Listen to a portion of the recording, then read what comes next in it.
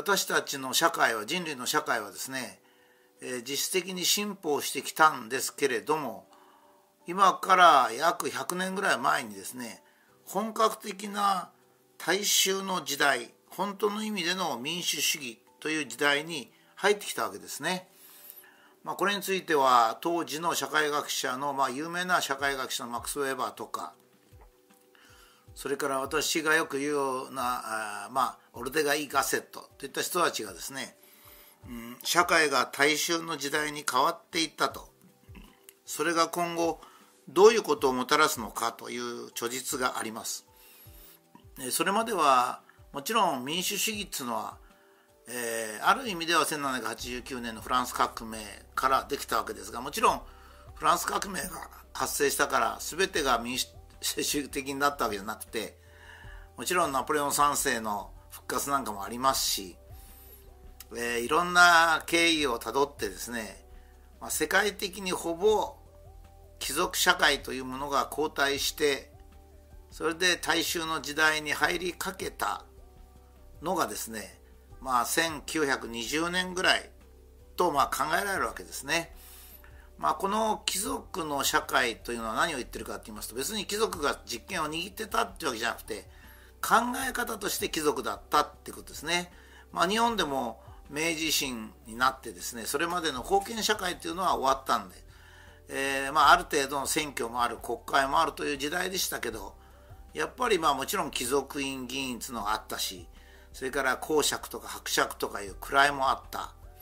元老院という制度もありましたそれから何はともあれ国民一人一人が自分が主人であるという意識で行動したんではなくて、まあ、貴族もしくは家柄のいい人たちが中心となって構成する社会にある程度ものが言えるというような時代だったわけですね。まあ、これはヨーロッパでも同じであります。えー、大体ソ連が誕生したのは、まあ、大雑把に1920年であり、えー、その他のところがですね、えー、貴族の影響が取れていくのもやっぱりその頃だったわけですね。まあ、社会も1900年に、えー、あの、うん、大衆が着る洋服ですね。それが広くブランド品のようなものが出てくる。1920年からそれまでもんぺを着ていたご婦人がですねいろいろパンタロンとかそういうものを着るようになる、え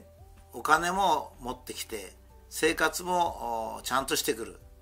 その大衆が出てくるわけですね。で貴族は生活は別ですよ。お金の問題じゃなくて精神的な問題なんでちょっとこの前私貴族の時代から大衆の時代やったら随分誤解された方が多かったんですがここでいう貴族っていうのはですね自分の名前を名乗って、えー、それから、えー、自分が他人と違う意見を、まあ、別にあの無理やり持つんじゃなくてよく考えて自分の意見を持ってで言ったことに対して責任を取るっていうのがまあ基本的に貴族の社会なんですね。えー、これはあの日本ですと武士道に相当しますがお殿様がいてそれで武士がいてお城に勤めていると。まあ、官僚の役割を果たすわけですね。ただお殿様も武士もですね、えー、藩に属する農民庶民のためにと思って政治をやると。ただ必ず例えばまずは何とかの太郎兵衛、えー、っていうふうに名乗る。そして自分の意見を聞かれたらしっかり言う。それに対して責任を取る。あるいは本当のところは時は腹を切ると、まあ、いうような責任の取り方をするということですね。これに対して大衆というのは、えお金のことじゃありません。地位のことでもありませんが考え方としてですね、名を名乗らない。つまり大衆ですね。それから不は雷道する。人の意見に従う、ま、自分が自らものを考えることはしない。責任を取らない。という三大特徴があるわけですね。この三大特徴がある時に同時に登場してきたものが実はメディアだった。あそうか。と私思ったわけです。この心への暴力。メディアによる心への暴力というものを考えてるうちにあそうだなと、まあ、もちろん昔から瓦版っていうのあったしまあ先駆的ないろんな通信手段がありましたけれどもやっぱり日本ですと戦争の少し前からラジオとかそれから、えー、新聞ですね。もうあの新聞という点ではもう1930年に入ったら本格的に、えー、今の朝日新聞毎日新聞読売新聞がですね大量にあの毎日出るようになります。なるほどなと。あの大衆のメディアがスタートしたのはやっぱり大衆の時代に入ったからだなと思ったわけですね。貴族でしたら数が少ないのでいわゆるマスコミュニケーションっていうのはいらないわけですから、まあ、当然って言えば当然。武田は何で今頃気が付いたのかと言われちゃうんですけど。なるほどと。メディアは大衆迎合なんだとそうすると基本的にはあ名を名乗らずに大衆に迎合する同じ考えを伝え責任を取らないっていう特徴を持ってるはずなんですよ。いや持ってるんですよね。今のテレビ新聞は NHK に代表されるテレビもちろん民法は少し砕けますからもう少しその傾向が強くなるんですけどもそれから朝日新聞に代表される、え新聞ですね「週刊文春」に代表される週刊誌と月刊誌。こういったものはですね大衆のメディアなんですね、まあ、それは当然なんですけど。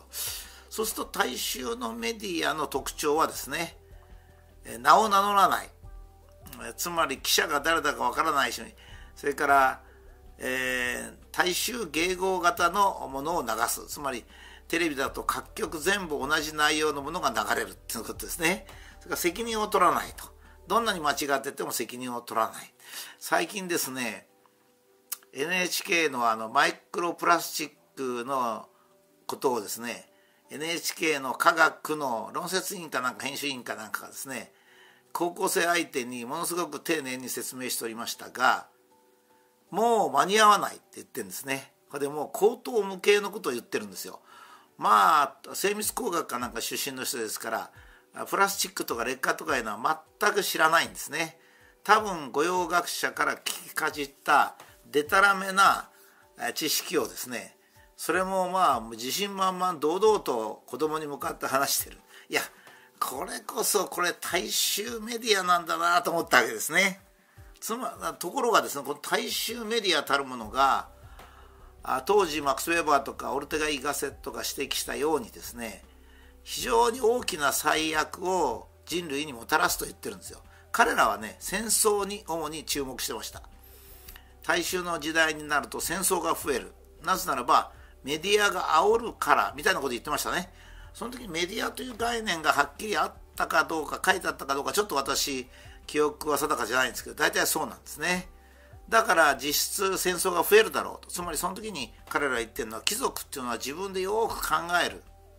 そして発言し責任を取るのでおいそれと戦争を始めるわけにいかない。しかし大衆は顔が見えない。不和雷道であり責任を取らないから感情に赴くままにそれは戦争だとか言うだろうと。確かにそうでしたね。メディアが煽るわけです。戦前ですと戦争を最も煽ったのが朝日新聞ですから戦え戦えと言ったのに、えー、まあそうなっちゃったそれからナチスもですねもしかするとこれは大衆じゃないと起こらないのかもしれませんねそれから現在の中国の好戦的態度戦争を好む態度もですねやっぱり中国が大衆であるからかもしれませんね。そしてそれによって、まあ、第二次世界大戦という非常に大きな、まあ、6,000万人も犠牲が出たと言われる戦争が起こりまあ何かというとそういう戦争的なものが起こって被害がある、まあ、核兵器もその中で生まれたしかしですね私は現代の大衆メディアというものはですねあの実質的にはその6,000万人の被害を出した戦争よりか大きな被害を得ているように思うんですよ。それはどこにあの、うん、被害を与えているかってやっぱり人格ですね。人間というのは人格こそが生きている証なんですよ。その人格を傷つけるつまり人格侮辱なんですね。間違った例えばそのマイクロプラスチックで言えばですね あの、えー、プラスチックが小さくなると分解するものがなくなるって言うんですよ。岩とか波とか太陽の光なんつってるんですねえー、あのプラスチックが生物にとって最も貴重な食料だなんていうことがないんですけどもそれはどうしてそういう意見が出てくるかっていうともしも貴族の時代ならですねマイクロプラスチックが残るかどうかっていうのは貴族の集団つまり学会ですね。学会ってのはまあ貴族ですからね。学会で議論されるからそんなバカらしい議論を NHK の編集委員かなんかが知識のないのに言えばですね、まあ、すぐバカにされて「お前出ていけ」って言われるだけなんですね。ですから、えー、それで終わりなんですけども大衆メディアですから NHK なんかまあ典型的な大衆メディアですからね NHK に勤めてる人は自分の給料も心配しなきゃならないぐらい大衆なんでだから自分の放送局が続くということが一番大切だから自分の名誉とかそんなものよりか職業的安全を保つということがもうまず第一。だから誤報でも何でもするっていうことになる。まあ大衆メディアこそが、えー、名乗らず、えー、独自の考えをも独自の考えっていうか独自のきちっとした放送をせずみんなが地球温暖化といえば地球温暖化だ。まあ、NHK に関しては日本国が借金があるというと日本国は借金なんかないんでむしろ貯金があるんですが日本国が借金があるという。どうして言うのかというと財務省がそう言ってるからつまり不洗い道ですね。それからその責任を取るのかいや取らないと、まあ、大オキシの時に大オキシが猛毒だと言ってもですねそれが間違ってることが分かってももちろん誤りもしなければ責任も取らないし賠償もしない。大衆メディアの出現こそがあ人の人格を侮辱しつまり何で侮辱するかって言ったらその人非難するんじゃないんですよ。その人が考えることが間違ってしまうわけです。人間は自分が考えることを間違えるようにどあの導かれるっていうのが一番のショックですからね。それは当たり前ですけど。人間じゃなくなっちゃうわけですから。片輪の人間になっちゃうんです。片輪って今言っちゃいけないのかな。あの少し精神的な処理ができない人間になっちゃうわけですから。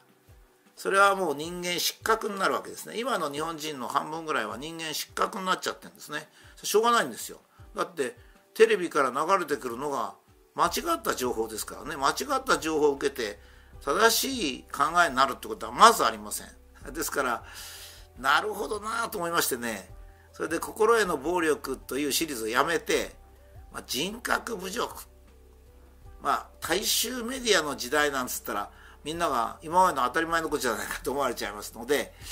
えー、大衆メディアが何をもたらしたかという点でですね、えー、人格侮辱ということではっきりとどんな被害を大衆メディアが我々に与えてるのかという視点で考え直したいというふうに思いましてこのシリーズを切り替えました。